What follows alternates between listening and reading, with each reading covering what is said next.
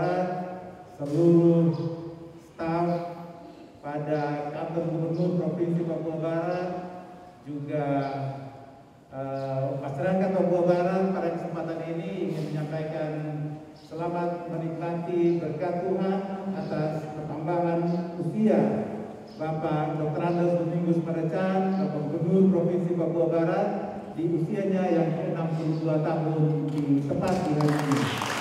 Sehat, terus dianugerahi kekuatan, kesehatan, panjang umur, dan keberkahan di dalam memimpin Provinsi Papua Barat ini menuju provinsi yang aman, sejahtera, dan bermartabat. Tuhan memberkati Bapak ini, anak-anak, dan seluruh masyarakat Papua Barat, dan kita semua. Tuhan memberkati kita semua. Terima kasih.